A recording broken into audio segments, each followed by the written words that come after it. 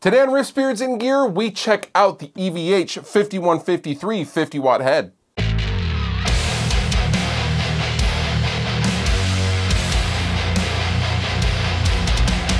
Even though I have tried them in the past, the EVH 5150 heads have always been a really cool sounding amp in my opinion, but every time I played them, it wasn't with pickups I was familiar with or a guitar that I was familiar with. But all that changed recently when I went to Fishman headquarters and tried a 5150 III 50 watt head with the Fishman pickups I'm familiar with and a guitar I'm familiar with. And I was absolutely floored, even more so than before. So I came home, probably went on Reverb, and uh, I found this guy, an EL34 variant of the 50 watt head for $600 and it got shipped.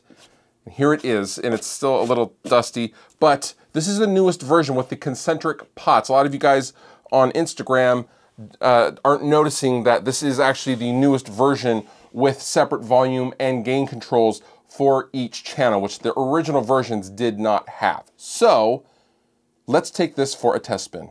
I will be plugging in my Meeseeks Balaguer Hyperion with uh, Fishman Fluence Moderns with the Alnico Modern in the bridge. With no boost, I'm plugging straight into the amp, and I, the amp is then going into a Universal Audio OX amp top box uh, straight into my computer. Uh, there's a little tiny bit of post-processing going on in the mix, tiny bit of notched EQ and some compression other than that, what you're hearing is the actual tone, and really it just, it sounds phenomenal from the get-go. So without further ado, let's have some fun.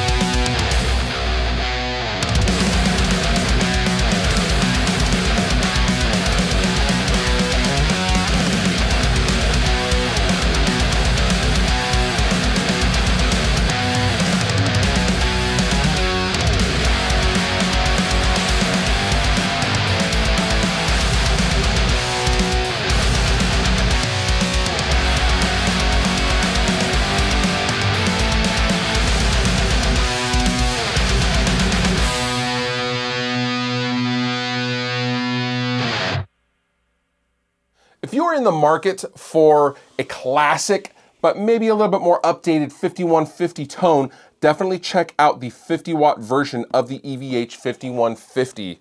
Uh, it's it's really, really aggressive. It has that 50 watt bark that I just love that the big amps don't have. And the EL34 variant has that really nice mid-range and just nice top end that I really love in an amp. So definitely don't discount the EL34 version if you come across a good deal on one.